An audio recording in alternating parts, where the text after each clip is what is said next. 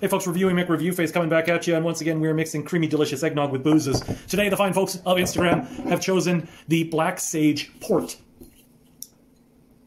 Uh, yes, delicious, delicious port with eggnog. I don't know about this one, you guys. I love port. This one might be in port taste.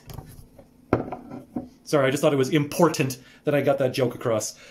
That looks chunky. I don't know about chunky. Cheers. Mmm, no, no. Tastes like raisins. Tastes like, yeah, I'm getting a lot of raisin, eggnog, fruitcake badness. Definitely not a winner, but stay tuned for tomorrow night because for New Year's Eve, the last day of December, I've got a very special eggnog tasting for you. Come check it out.